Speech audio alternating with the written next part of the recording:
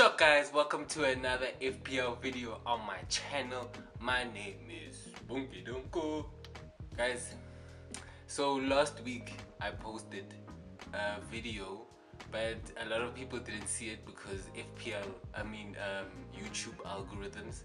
So a lot of people didn't see that video but I revealed my face um, in that video. Um, so I'm gonna do it again to see if you guys actually want to like uh, if you guys want to see more of the face in the videos. And yeah like like the video so I know. And also subscribe guys. Um we reached 1000 subscribers last week. So I have to shout out to you guys. The people that haven't subscribed I don't know what you're doing. I don't know what you're doing. But the people that did shout outs to you guys shout out so much to you guys. Uh, thank you so much. It's been a long road.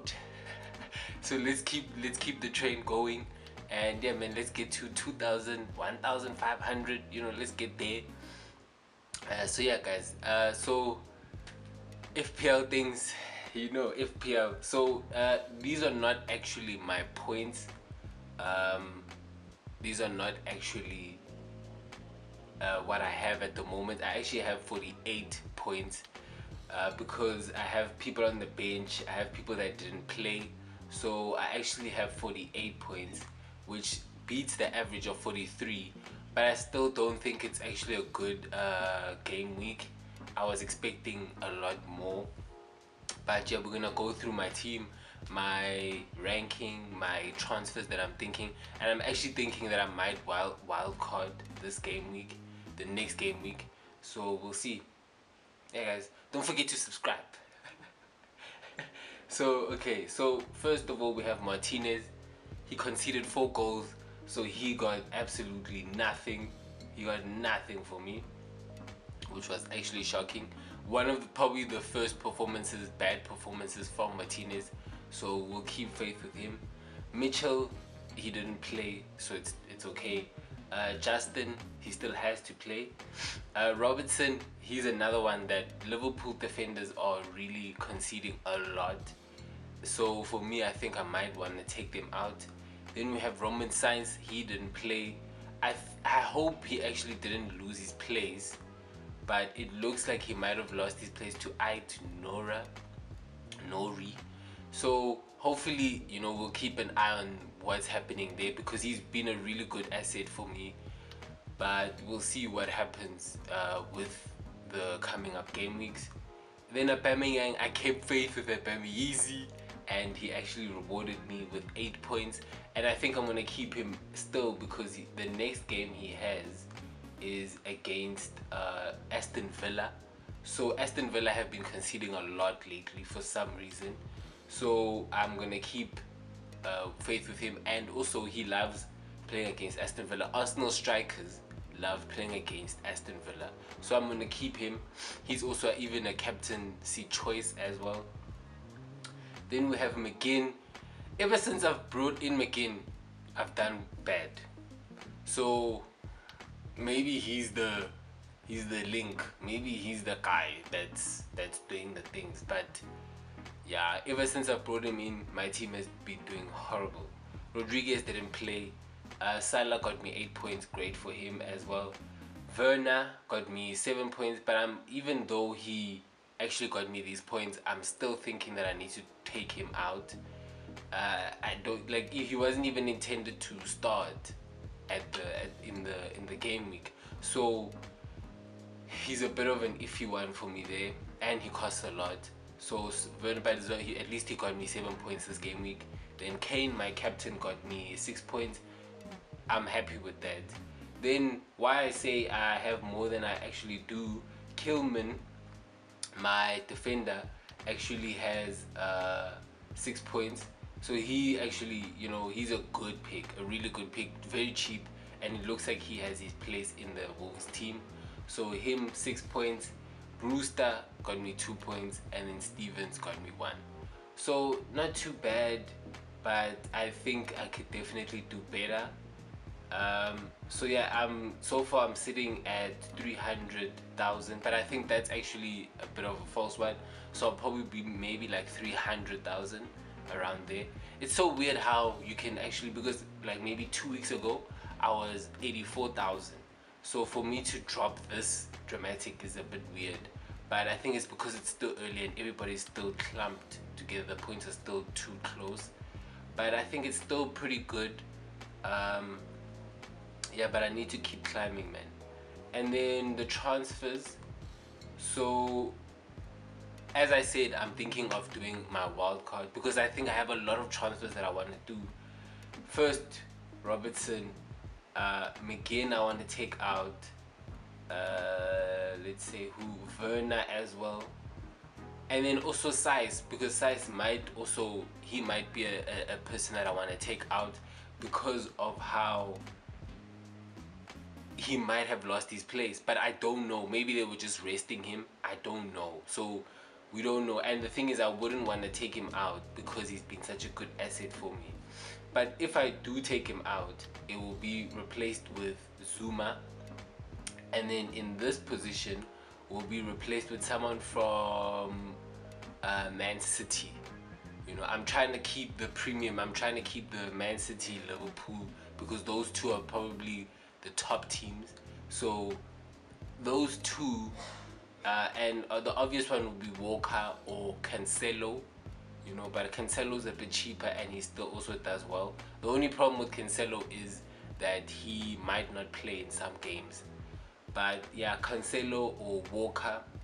And then here, but here I actually want to take in and put in Ings. So Ings, the problem right now is that he could be injured. That's the issue.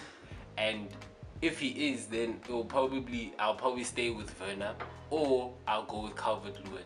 But Calvert Lewin for me, the problem with going with Calvert Lewin is because I already have Rodriguez from Everton and I don't like doubling up. I've seen that with John McGinn, with McGinn, and having McGinn and Martinez because now once if they do bad, then I have two players that are actually doing bad in my team and I don't like that. So for me I would rather have that diversity and if I'm gonna do two players it would be from a team like Liverpool or Man City. So a team that is kind of guaranteed a win at least you know? So yeah Ings would be my first choice. And then maybe even Wilson since he had a, a great game week you know maybe even Wilson there. So yeah I think that could be a possibility in in there. Um, and then I'll have also 8.3 in the bag here now I would probably go for either Zaha or Grealish in this one.